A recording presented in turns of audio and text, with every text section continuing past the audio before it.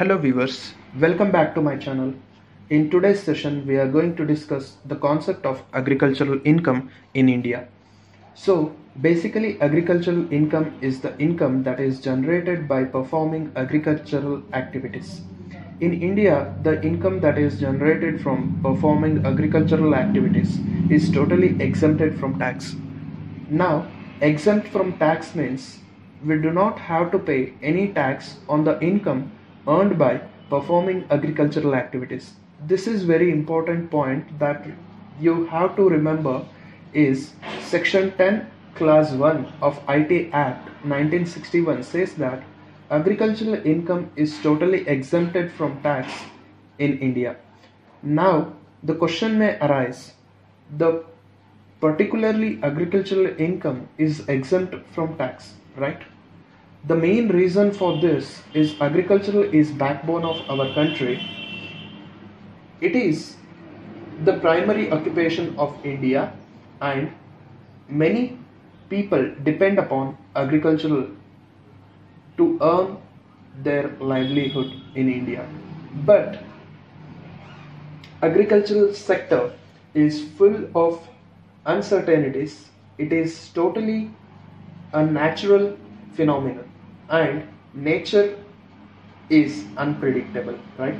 So people nowadays start to shift their occupation from agricultural sector to secondary and tertiary sector.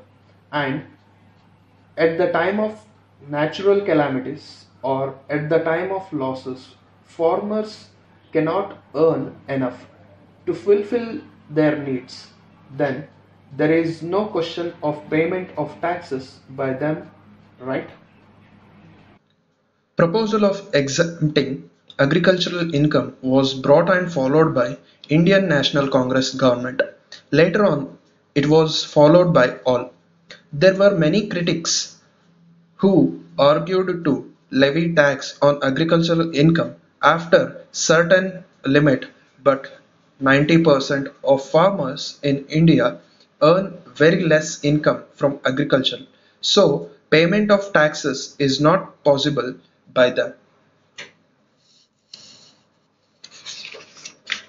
So now let us try to understand what is meant by agricultural income.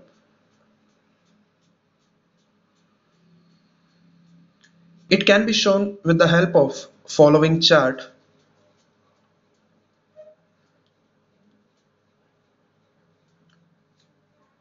any rent or revenue derived from land which is situated in India and it is used for agricultural purpose.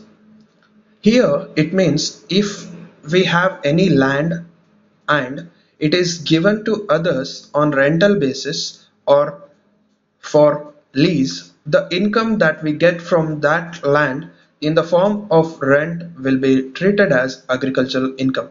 But there are two conditions for it. First one, the land that is given for rent or lease must be used for agricultural purpose only.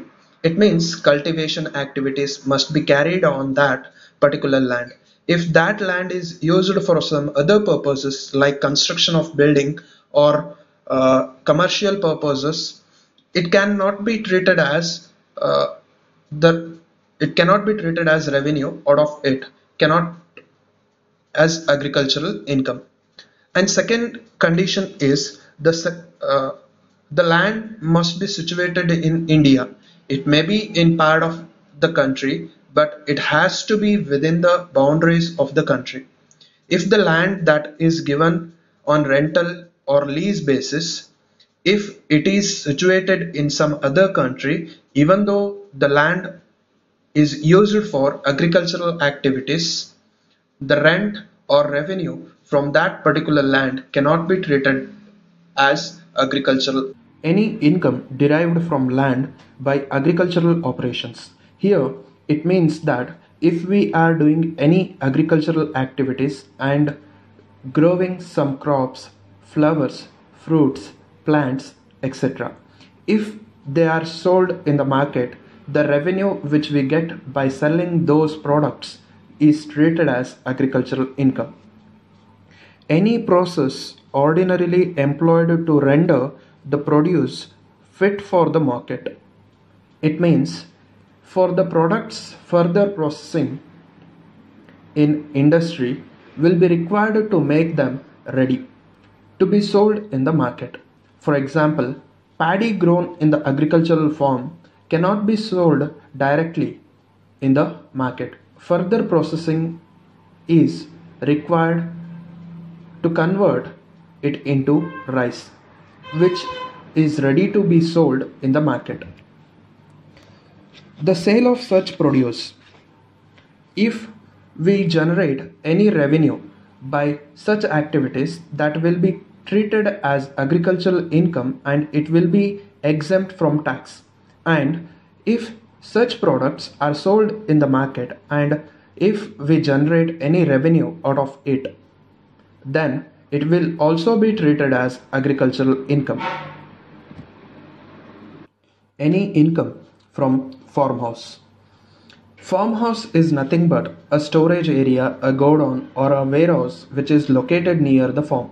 But again, there are conditions for it, like the farmhouse must be located within the certain kilometers near the farm, and it should be used to store agricultural produces only. If any other products are stored in that area, it cannot be called as farmhouse.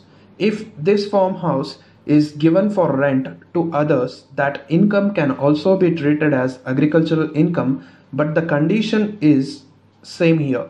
That is, the farmhouse must be used to store agricultural products only. If that farmhouse is used to store some other products, then the rent received mm-hmm. out of it cannot be treated as agricultural income and it will not be exempt from tax. Now, let us take a small test and try to figure out whether the given incomes are treated as agricultural income or not. So, the first one is income from stone quarries. The answer here is no. It is not an agricultural income because any agricultural activities like farming, sieving er, are not undertaken here. The second one, income from processing tobacco leaves. So the answer here is S. Processing of tobacco leaves and selling them involves agricultural activities, so it is treated as to be agricultural income. Third one, income from sale of dried tobacco leaves. The answer is yes. As I told you in the previous example, processing of tobacco leaves involves agricultural activities. So, if they are sold, the income that we get is agricultural income. Fourth one, rent received in kind from land let out for agricultural purpose. The answer here is yes. Here there are two things to be noticed. One is rent is received in kind. It is not necessary that always the rent received must be in the form of cash only. It can also be in kind. The other thing here is the rent is received form of land which is let out for agricultural purpose if the land was used for any other purposes, we will not treat it as agricultural income. But here, this income is treated as agricultural income. Next, remuneration received as a manager in an agricultural firm. The answer here is no. This is not an agricultural income because the manager is not doing any agricultural activity directly here. Here, he is getting salary for management purpose, which involves decision making and it is a mental process. So, this salary cannot be treated as agricultural income. Next, income from fisheries. The answer is no. Fisheries involves fishing activities.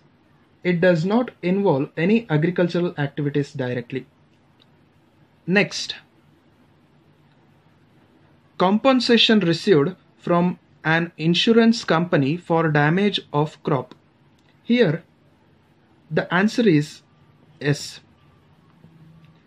This is an agricultural income because many farmers will get crop insurance in order to face uncertainties as agricultural sector is totally depends upon nature. So the amount of claim received from insurance company for damage of crop is treated as agricultural income. Next income from growing flowers and creepers. Here answer is yes. This income is treated as agricultural income because horticultural activities are involved in it. Next, dividend from a company engaged in agriculture. Answer is no. This is not an agricultural income because we are receiving dividend from as a company. But we have to remember that the dividend received from any Indian company is exempt from tax here, the tax will not be paid, but this income cannot be treated as agricultural income. So, the 10th question is the work for you. You have to answer for this question whether it is agricultural income or not in the comment section below. Okay guys, so this was all about today. If you found it helpful, please hit the like button and subscribe to the channel for more such videos. Thanks for watching.